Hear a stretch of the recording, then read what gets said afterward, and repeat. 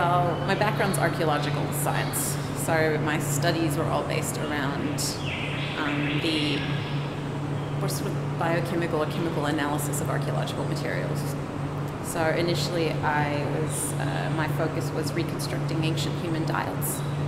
So I take a little bit of someone's bones or teeth and look at the chemical composition of that, and then use that to make conclusions about general things about their diet.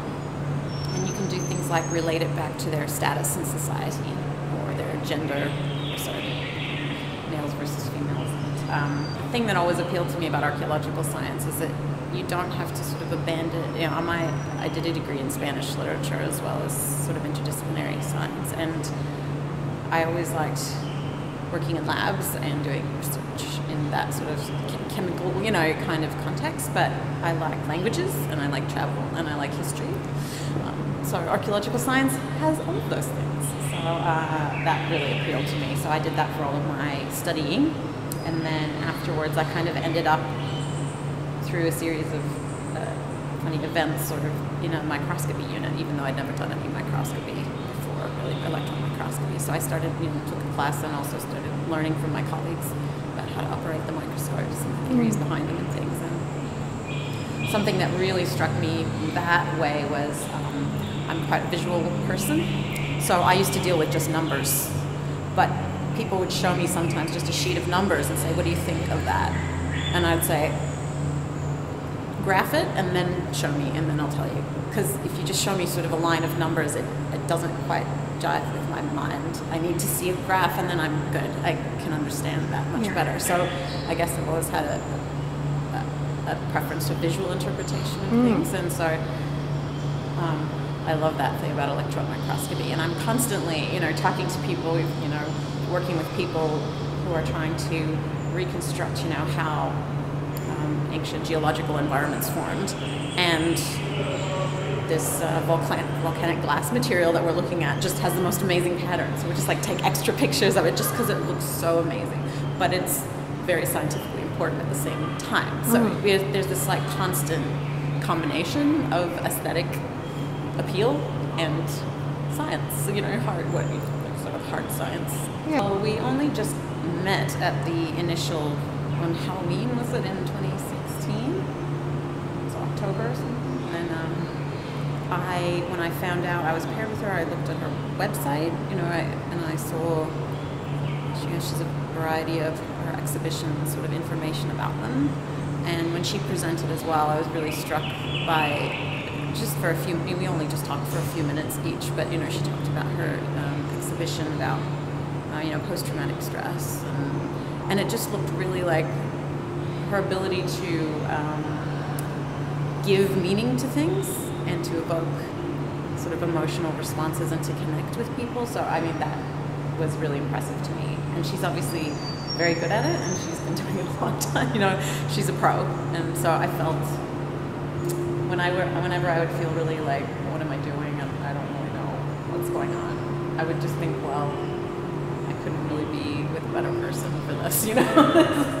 this is uh, I don't have to worry because she really knows what she's doing. So, so we met there, and then we kind of got to know a little bit about what each other was doing and our backgrounds and stuff. Um, and then when we got together at Currawong, I brought along, you know, we brought computers and stuff, Yeah. and I brought, I made sure I put all of these maps and micrographs, images, loads of images that I thought might be interesting to her that would give us something to look at and think about. Um, and I'd already taken some images of things like feathers and my hair, and you know, um, so I kind of already had examples of things that you could find in the park, you know. So um, we went around and experienced the park. We discussed it with counselors and with our colleagues and everything like that. But um, so, and she had all these, you know, photos, and she's really, really into photos and um, sort of zooming in, zooming out, and she sees everything. You know, I think that's something artists are good at. And so that's we started by just I was saying, look, this is the kind of this is what these things kind of look like. This is generally what a secondary electron micrograph looks like, or whatever, and you know, we can think about what these things might show us or you know, we didn't even know really what we'd use because sometimes it was possible we could just use like the concept of an electron interacting with something, or I mean, who knows how we were gonna do the science? We didn't necessarily know we were gonna use images, but that was something I could bring initially to discuss and look at. So while we were there, we did a lot of collecting of, um, you know, anything that we thought might be interesting to look at. Yeah. In pieces, though. It was definitely like a stepwise process. So the first thing we noticed really was we would just be out walking and seeing like the sandstone. You know, so you've got like ripples in the water, and then you've got this sandstone here, which has got this like kind of wave upon wave, but it's in rock. You know, so you've got these things that um, and in the sand and and then you look at something like a flower bud or um, you know something at really tiny scale and you get these repeated wave patterns. And we saw that. We saw little cells you know these sort of cells and then that's a piece of pumice there but that there is a little insect sort of of bark when we were in that down in that mangrove log. We took a macro picture of that. And so we we were really struck with. him that the central thing for us was this repetition and reflection across the scales, right from like the land, large landscape structures. So some patterns look like huge sort of hills, or even just a topographic bird's eye view of something, um, and that might look very much like tiny, little invertebrate shell. Yes. And it looks very much like a topographic bird's eye yeah. Yeah. view of something. So I think that for us was always something that we kept coming back to because it was so sort of, sort of I don't know, surprising, but it was quite striking for us, I think. Mm, mm. And um, unified the various things that we kind of came up with. So is part of that reflection and repetition across scales it reminded us of the cycle of sort of reflection, um, sort of a sustaining uh, between the, the park uh, and us as human actors in, in around it. Um, so it sort of in a cycle of uh, you know kind of sustains and reinforces us, and even if we're not even aware of it in the area, but all you know the plants producing oxygen and all these things that it does for us. Um, but that can't happen without us then reciprocally coming back and helping that to exist and maintain itself and things like that. So there are all these cyclical um, reflections, I guess, conceptually, but in the patterns too that would remind us. Mm. Um, so I found out about being able to print patterns onto mm. fabric. Mm. Um, and I suggested maybe we could um, create things that could literally people could surround themselves with things that are uh, things that are found sort of in and around the park. So I tried doing it in different sort of patterns and formats. So you created this yeah, pattern. So I put micrographs together in different categories. In this case, so for the wallpaper, Anita, we kind of divided and conquered. So I took care of all the fabric and patterns and making the clothes, and Bonita really um, took uh, the wallpaper. Um, sort of as her thing, and kind of just putting together all these abstract pattern repetitions across the various scales. Um, and in this case, it was really like images, patterns, fractally kind of repetition and then I, for the cloaks, I divided subjects into categories. So this is plants. Here. So these are all plant species found in and around the park. Little tiny parts of them. So, for example, so there'll be. This is the bottom of a fern frond. So it's got the little spore capsules there. And these things are reflected as well, so they're not perfectly like it. You know, this is a reflection in two different directions, so it doesn't always look like that. But this bit here is an acacia seed, which to me looks like dry ground, and then the sea coming up against it. I love that one. Yeah. It's a casuarina seed. Oh, sorry, that's casuarina, and that's um, the outside bit, and I think this is one of the little seed bits that sit inside the seed pocket. This is another dried. I didn't. I don't know which species this was. It was a beautiful, spiky as all get out seed. Um, can't remember clematis or something here. Um, This looks like a this brain. is- yeah, so that's the that's the surface of a petal, I think. It's a flower petal. And this is like a flower bud surface too here. This is some grass. That's just a little grass stalk surface. You can see the little cells on it. Yeah, so I, these are all just plants. And then um, this is invertebrates. I made baby bear, mama bear, and papa bear sizes because I wanted kids in every size. Luckily, my husband's huge. I'm pretty small, and my son's a little bit smaller than me. So, So you had the models. yes. So when you say invertebrates, um, So this is a tick's piercing mouth part, just the hypostome. So that's what it's ridiculous. I got really annoyed at how beautiful these horrible things are. Ticks are definitely in the park. This is a cockroach antenna, is that a, also beautiful. a native or an int- um, invasive? I like- don't. I uh, the t- the species of cockroach I don't know. Yeah.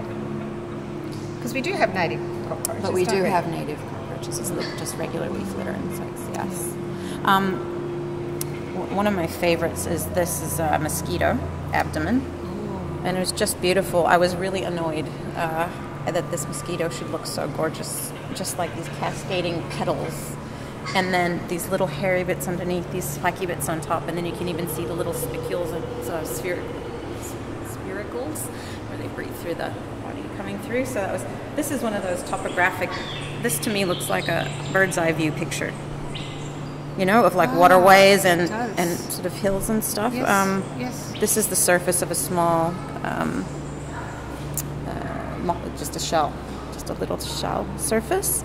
So these are Um, microscopic. Yeah, and this, do you remember the little lacewing eggs we found? Do you I remember when do. I was taking pictures? This is the surface of one egg. This the surface looks like that. I was really surprised. I didn't think they looked like anything, to be honest. I thought they might look quite boring. We found a hairy flower wasp on one of the first days we were there. That's its face. Here, the eyes on the side here. So it really is a face. Yeah, That's very cute. so it's a bit eaten out here. So we, you know, I didn't really want to kill anything that we were sampling. We treated them like found objects. So these things were not sampled like you would sample them scientifically for doing taxonomic imaging or anything where you'd characterize them really beautifully as they are in life. So this has got like little eaten.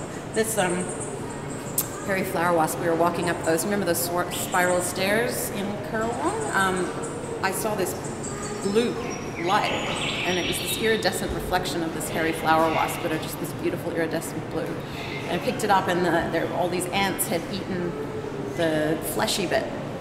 And I thought this is perfect because in a microscope you don't want anything wet. I would have to have done away with that myself, but the ants did it for me. Mm. So mm. I picked it up and mm. put it in my collection.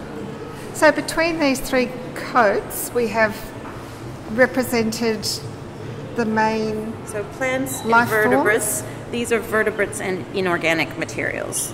So there's feathers, pumice, eggshell, interior of an eggshell that we found on the beach at Currawong. It's another part of a feather. Um, this is salt. Um, and then this here is also salt that was grown from seawater. Um, that's um, that precipitated these little like ziggurat, if you can see. Ah, yes, So it's just reflected across that axis, but a like- ziggurat. it looks like just like a ziggurat to me. But another thing it reminded me of was when we went, uh, Bonita and I went on a bit of an epic walk on one of the last days. you remember everyone was calling us? and, Yes, we thought you were yeah, lost. like, yeah. So we just went on a very long walk and we went around on the coast and we saw those those bunker concrete things in the walls that we'd seen from the boat. And that's another thing that reminds me of at the top. This bit at the top is a bit tall. Yes. So that reminded me. Oh, hi. So it just reminded me of that as well in the park. see. So thought that's kind of cool. So can you tell us about this now? What, Yeah, what that- was the purpose of this? So Bonita had um, created this tent for a previous exhibition. Um, Ah, yes. and it was just a very fine silk, uh, just white um, silk tent. Yes. Very light. Um, and she'd used it, um, and she said, "Look, it's the way she'd uh, these shapes that are in, that are cut out here. Yep. Um, what she'd done is she'd exhibition. Okay. Yes.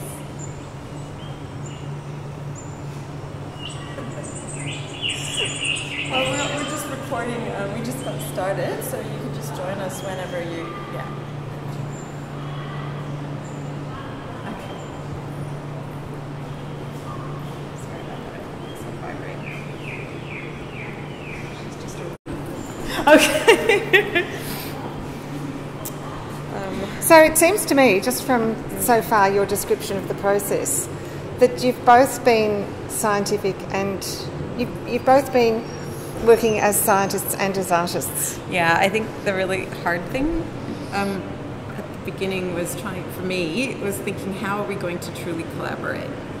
I think, you know, I can try to think of how to do something scientifically or even what I think might look nice or something, but Bonita, it, that's normal with any collaboration, I think, is you have to kind of make yourself understand that you have to do some compromising and you're going to have to think a bit like the other person. But to, between a scientist and artist who you know never met before never worked together before and for you know an artist working with a scientist who's never worked with an artist before i was really intimidated by that. I think that was really hard. Um, concept and i think we actually in the end worked at it spent a lot of time together on it um, and like encouraged each other's like sort of ideas and not to the point where we didn't say like you know like I'm a practical party pooper and so Bonita would say something and just like my husband does it and I'd be like yeah but how is that gonna work you know and then we might say okay well let's see if it'll work or you know and so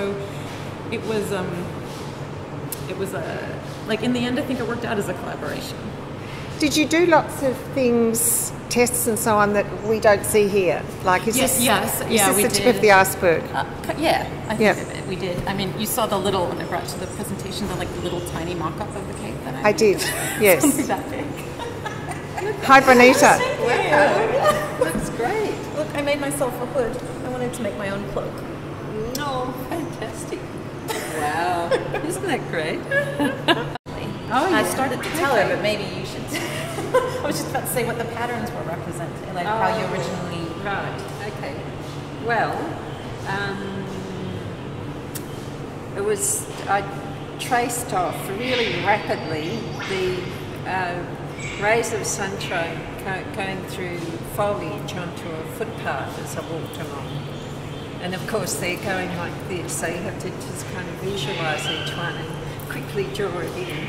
And these ones are the ones that were raking across the path, and these ones here were the ones where the water is, uh, sorry, the light is going through in a very dappled way. These, these are the more indicative of the shapes. Because when we um, did the mud, which was a lot of fun, by the way, wasn't it? Yes. Well, you were there, weren't you? We took over uh, uh, paddling pool. That's right. Yeah, I had all this earth from where I was brought up. And, So that's you know, what this is? Beautiful red earth. And uh, so we made a great big um, kids' wading pool of mud. and then dunked the, um, the tent in it and got the tent out and put the frame in it and then put it up.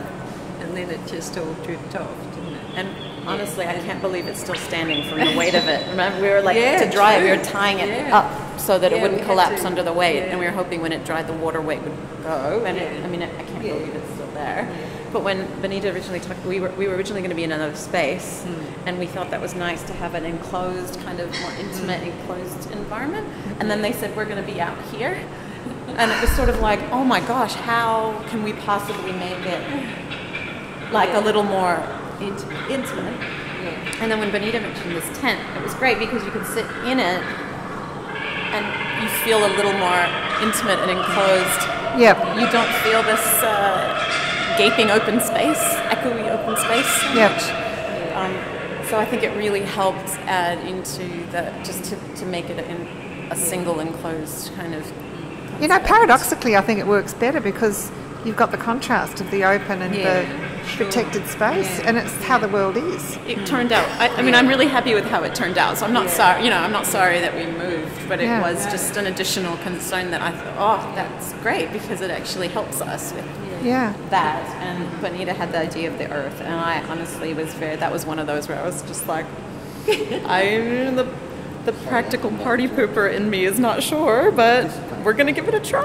And we tried it the weekend before, and so if it didn't work, we really didn't know how, how it was gonna happen. Karen and I took uh, Ku-ring-gai Chase, and we also collected all.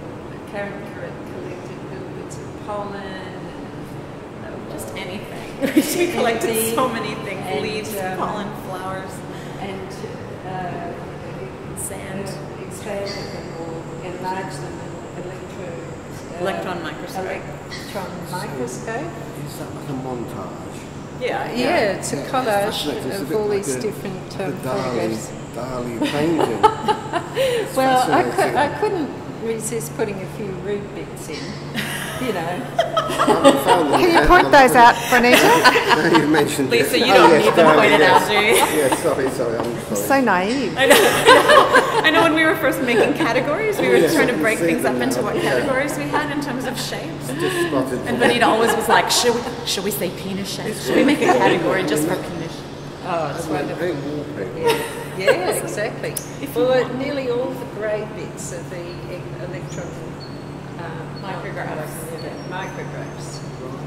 Um, so, you know, so it shows at a microscopic how it's affecting the landscape or the real world, how the way we see the world. It's, it's hard to, you know, Well, it's it's amazing to look at, yeah. yeah. yeah. And this is your camp, is it? Uh, that, well, this is a tent I made for another work, but um, it works so beautifully in here. It works, you know. Well, you wouldn't give me a simple explanation if you were hit by hail storm and whatnot. That's probably holes in the tent. I'm so happy you had the idea to put the earth on it. Honestly, I was just sort of like, how will it work? And it just ended up mm-hmm. working Yeah. at the last minute, basically. And then there's the, the book. Well,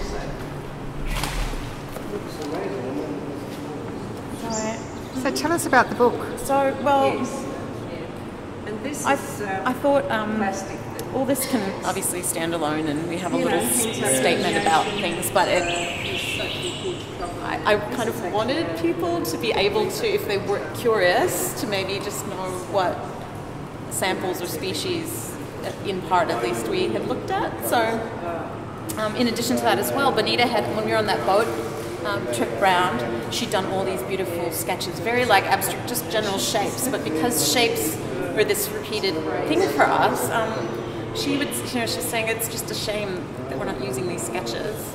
And I was thinking I'd really like to show information about the samples, so I thought we could bind things together. And what we've done is just alternate. um, and we did, um, we interspersed her um, line drawings with um, uh, examples. So I had any little leftover bits of fabric, I cut them out.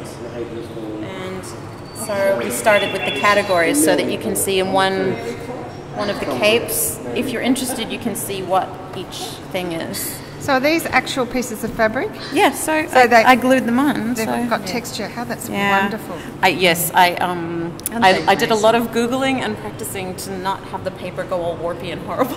it worked out. I'm so glad. Yeah, and the font we used was uh, reminiscent of, you know, 19th century botan, botanists. uh, Yes. Yeah, and like text. Robert Hooke, you know, Yeah. micrographia Yeah. and stuff. So Yeah. So then we've got Ah, um, these you are- might you might remember me racing up and down like Yes, a crazy woman on the boat. when we went along the coast. So- These are the drawings I was doing. So you know, again, you see these like textures and shapes, and then you see the continuation I of the yeah. plants. Um, and we just kind of chose, you know, all our favorites, and so you can see. Um, It's beautiful. So yeah, unfortunately, I can't make loads of copies of this because I didn't have that much, you know, left of the fabric. so and these are real pieces. So this is the acacia I was saying. This one I really it struck me because it looks like this dried, cracked earth and this like rolling sea, but it's just the tiny little surface of a single seed. Yeah. So yeah. I, I love that so much. Amazing. That one is amazing. yeah. It looks like a vast desert in the the ocean. That's Yeah, right. Exactly. Yeah. this, the Yeah. sea and the earth coming together Yes. like that. Yeah. It really, really looked like that to me. So that's why I took that sort of interface on that seed Yeah. a lot. Um, So yeah, it just goes through. Um, I just tried to, as best I could, Wow. Look identify. at those, aren't they amazing? This is a zoom zoom in on the surface of that Yeah. shell there. So then we just write the category there. So you know, each Yes. one is a different um, Yes. cloak.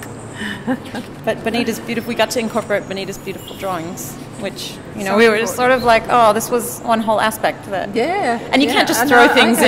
in like just for the sake of throwing them in. So I thought Yeah. this was a really nice way of. Um, I'd, I'd actually forgotten I'd done it. yeah, and then you sort of came across and went, oh wait, look at all these lovely things. And we're, oh yeah, because of course we all remember her running up and down, doing all her drawings. And some of these are just yeah, they're just amazing. Aren't these amazing?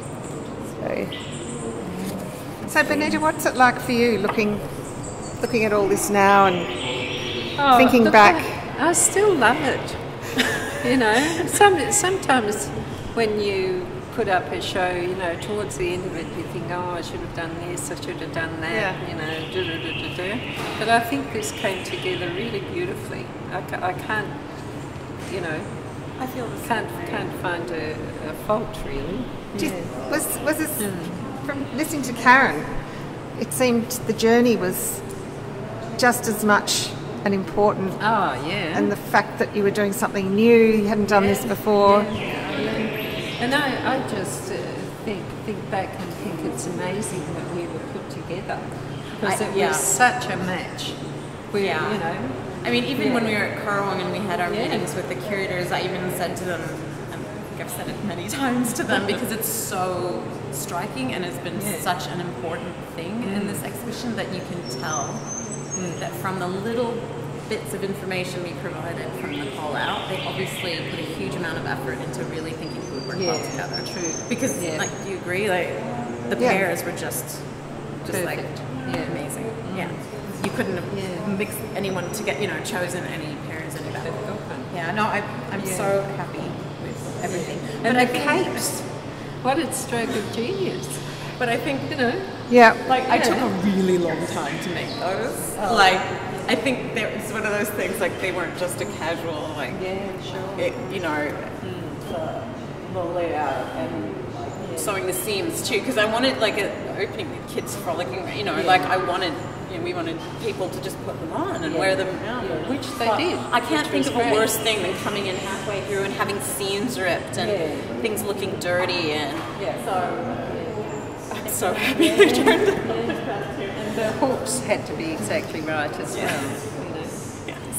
Yes. Nothing OCD about it.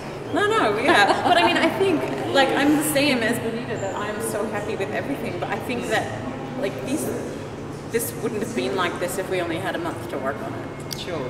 Yeah, having that huge. Like, we worked on, like, we incorporated these in the last few weeks, and Yeah. I put this, submitted the book to be bound, you know, in the, few, in the Yeah. week before. And some of this stuff we thought of quite early on, you know, and it was, it wouldn't be this if oh, we uh-huh. hadn't had some time. I actually don't know how long it took to put the wallpaper together, but it was massive. You know, it was Yeah. weeks and weeks and weeks just to, um, put the, you know, put the So- collage together. Tell me something else. I know that for me, a lot of new ideas come about in conversation and interaction. things that you would, couldn't possibly conceive alone in your little studio space or wherever. Do you remember moments like that with each other where something quite new for both of you just somehow emerged out of your interactions? I, I cannot know about single moments, but the whole process itself Involved. pulled pulled it out of us. I think, Yeah. me Yeah. personally. Yeah. Um, and I, like I said, you have to, like, with every collaboration, you have to make an effort to be very open. Like, you have to consciously, I think, think, I'd, I wouldn't have thought of that. But our natural inclination might be like, oh, I wouldn't have thought of that, so I'm not sure about that. Whereas you have to be ready to think, I wouldn't have thought of that, that's good, let's think Yeah, about that. That's good. And yeah. force yourself to, you know, And put the, your mind the around capes were are a good example because I wouldn't have thought of making the capes. And I Yeah. just thought, wow, what a great idea, you know? Yeah, and Karen, you wouldn't have And thought the of this. The tent. Yeah. Yeah, Yeah. No. exactly. No, and that idea also evolved through discussions Yeah. stuff too. But I think, yeah, no, absolutely, that's a good example. I Yeah. ju- just felt it needed something, uh, you know, with the capes, it needed something to um, enclose Yeah. this and make it a whole space, even though we're in this big space. That's right. Yeah, we were So, talking about that earlier. yeah. It's very Yeah. Would, would you um, describe your experience in any way um, in terms of you each working alternately or simultaneously as artists and as scientists? Did you find yourself taking on a little bit of Karen's approach and vice versa? Sure. Yeah. Yeah. Yeah. Um, I guess I've always been fascinated by um, science, um, even though I ended up not studying it. I, you know, at school I loved it, especially biology. You know. Yeah. So And you have a real like social conscience and conservation, like she's going and collecting plastics from waterways, and how that affects the eco, you know, the ecology, the, the food chains, all that sort of stuff in the environment. You know, that's a real focus that she brought to it rather than me. Um, So this is your idea? Ah, yeah,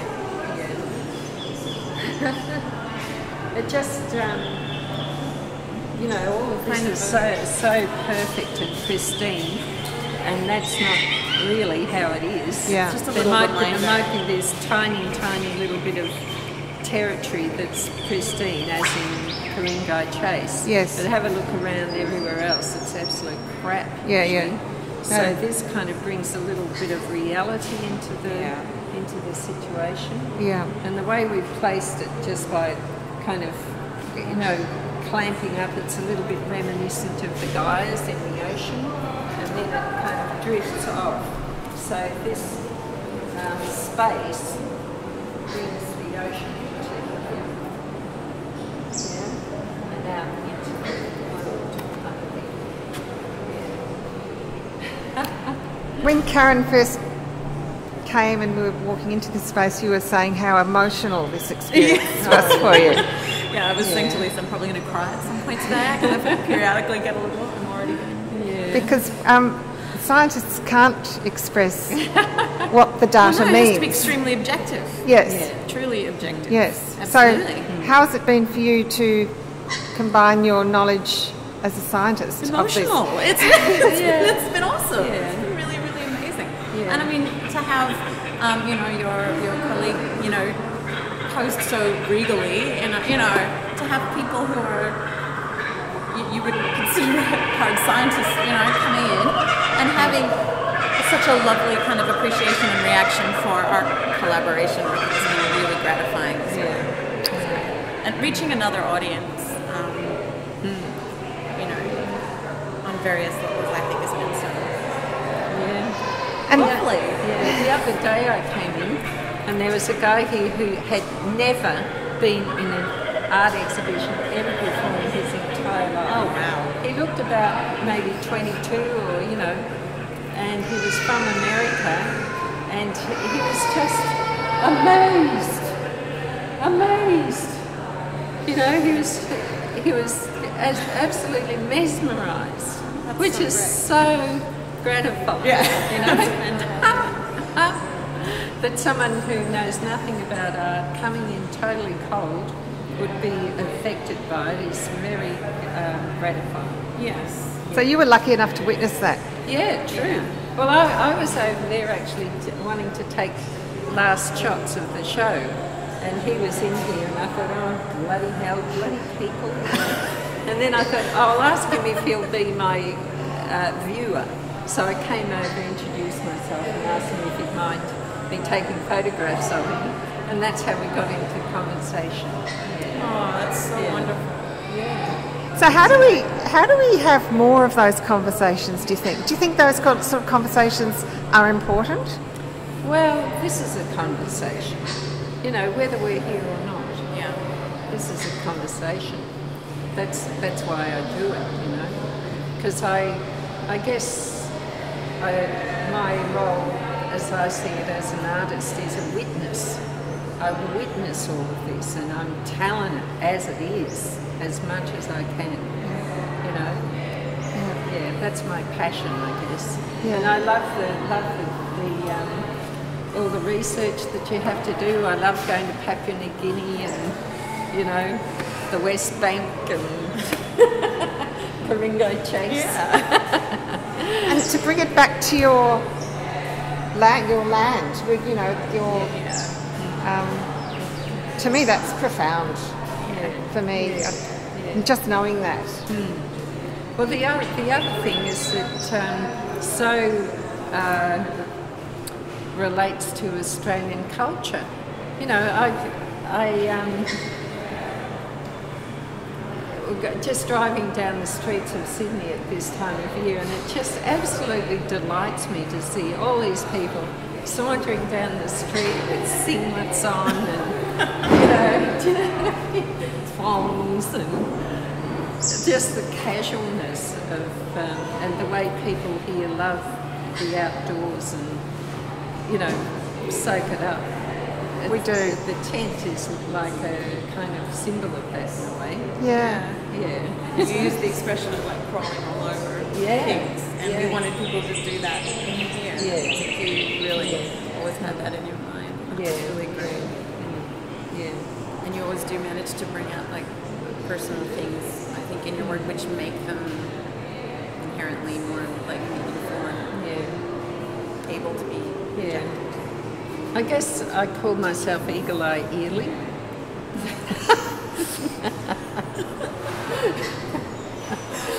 so, you know, I, I really do see so much. Yeah. That's what I was yeah. saying, complimentary. See, I'm totally unobservant, and she's the opposite. So that was perfect. Like, you know, this little spider. Where is it? Oh, it's not in this. Damn. Do you know, this is, this is a print that um, wasn't the actual finished print. There was a whole lot of funny little things in it. It's all, it's, uh, it's all here. Yeah. But we do have the cheeky kookaburra. We do. So just briefly, what about the sound? Where did that? Hey, well, Did you record the sounds? yeah, yeah, I recorded the sound. Um, without the sound, there'd be a whole aspect of Ku-ring-gai Chase not. That's one of the amazing things, isn't it? When It you is, walk yeah. through, hearing all the wild birds, you know. Australian birds are extraordinary. They're, they're different to all birds anywhere else in the world. So, um, yeah. I've been um, trying to get the bird sounds in Germany